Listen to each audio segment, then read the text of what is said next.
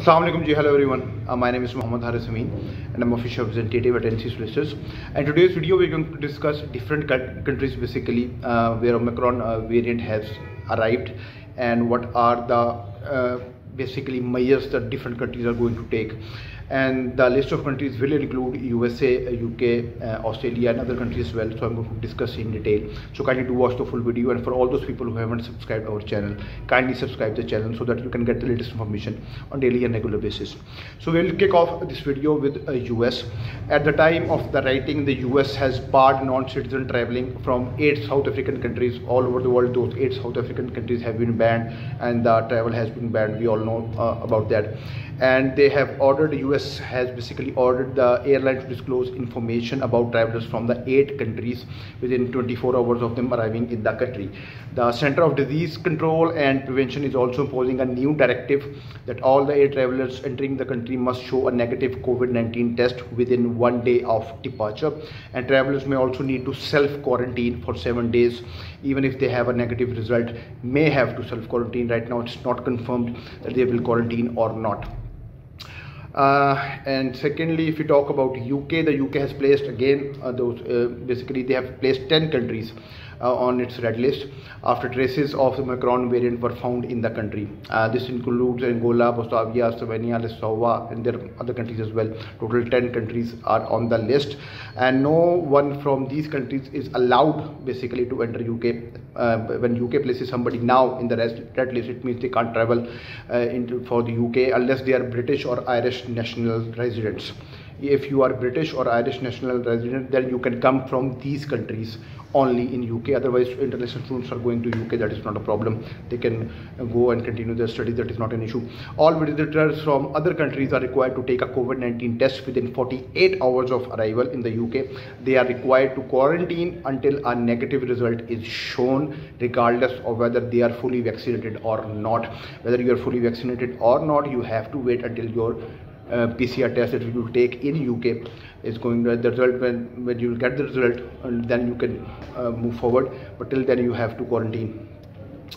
And at the time right now UK has basically recorded 32 cases of Omicron variant already.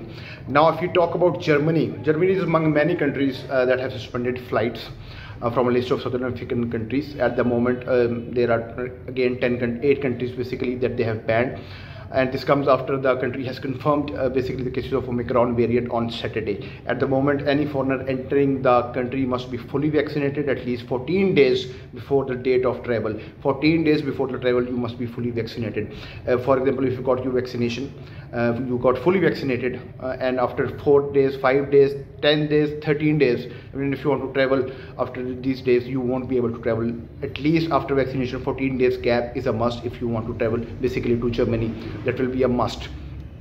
Otherwise there are no other um, such restrictions and uh, they must also show a negative COVID-19 test result depending on the place of departure and no further measures that will uh, affect international students traveling into the country have been implemented as yet. And several German politicians however have called the tightening of the restriction to contain the Omicron variant, but as such there is no particular restriction. Now coming to the big one, the Australia that everyone wants to hear. Australia has basically delayed the reopening of its borders to all foreigners uh, to December 15th, and two weeks later than originally planned. Basically, this was poorly uh, mm, poorly received by international students, uh, many of whom are now unable to return for their studies, and I can uh, empathize uh, because students have got the tickets students have enrolled themselves online for course and other courses and obviously they are devastated. They have spent a huge, amount of money they have spent a huge amount of time they have invested their time in australia and again unfortunately and things have been stopped for a while now and however international students have complained about the vague nature of these measures as many have been barred from entering the country. Either way other countries are open for international students at least even if the Omicron variant, uh, variant is there. But Australia again as always they have shut down the international borders and obviously students are going to panic and they are gonna get angry. They are angry. It's quite obvious that it was going to happen. All flights to and all those African countries have been banned not a big news because all countries are banning those African countries. Now coming to New Zealand, New Zealand has basically some of the toughest border controls in the world. All foreign travelers have been barred from entry into the country after the first strain of the virus were found in 2020. However, the country plans to gradually reopen. Borders will not be affected by the Omicron variant. Uh, this refers to New Zealand's recent announcement to allow fully vaccinated international travelers into the country in 2022. New Zealand borders will first open to citizens and residents. They haven't done that yet. Even Australia is a bit ahead uh, surprisingly but New Zealand has not opened it yet and they will firstly open for citizens and residents traveling from Australia in January. Citizens and international travelers from the rest of the world will gradually be permitted uh, entry from Feb Feb 2022 other citizens and other um, um, you can say basically travelers will be allowed to uh, tra travel into the New Zealand. In response of Omicron uh, concern, the New Zealand response minister said that it was probably inevitable that the new strain would uh, find its way into the country. However, he has assured citizens that the government is prepared for the possibility, for all the possibilities. So to sum up, to conclude this video, basically, uh, there's no problem in UK you can go if you're an international student there's no problem in Germany if you're an international student.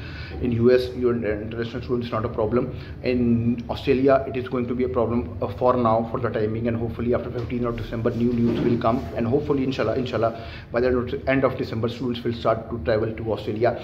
And as far as New Zealand is concerned international students will be allowed it is expected that they will be allowed to enter New Zealand by Feb 2022 so these are some important countries that students want to travel the students want to continue the studies in these countries and I have detailed the shares. I have sorry um, shared the details with you regarding, the Omicron variant and what are the, the effects right now and what's going to happen. So I hope that you have liked this video. Kindly do tell me in the comment section that what are your views regarding this particular video? Have how have you taken it basically?